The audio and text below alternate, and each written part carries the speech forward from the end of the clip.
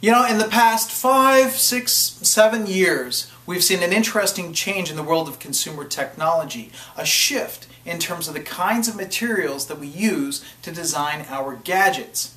We've moved from using plastic, which has dominated our world and is an artificial material we've designed in a lab, to returning to materials from nature, such as carbon, glass, and steel. The first major example would be the Razr cell phone. Motorola replaced the plastic screen and plastic body with a lightweight metal frame, glass screen, and rather intriguing, a keypad where the numbers are chemically etched out of steel. At a larger scale, you have Apple replacing the plastics in laptops and introducing a unique unibody design, meaning that the entire case of the computer itself is just one piece carved out of a single brick of aluminum. Now, the latest example of this comes from Dell. This is the XPS 13, a very thin Ultrabook computer. And in terms of replacing plastic, it uses quite an innovative mix of different materials. It begins with Dell using machined aluminum for the lid and main component of the body of the laptop, allowing it to be remarkably thin, lightweight, and of course strong.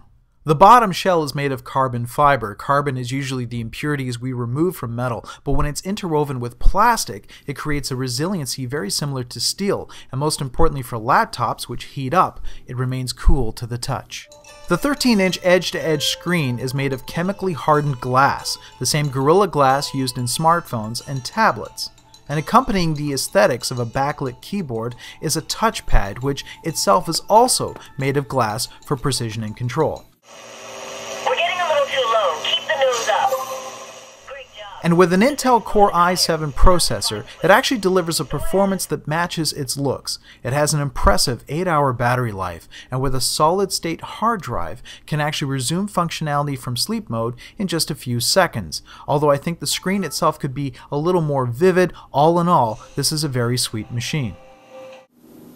Naturally, a major driving force behind this is aesthetics. Metal and glass tend to retain their beauty a lot longer than plastic, which over time can become deeply discolored and even break down. Already on this game system, the foot pads are turning into a black goo.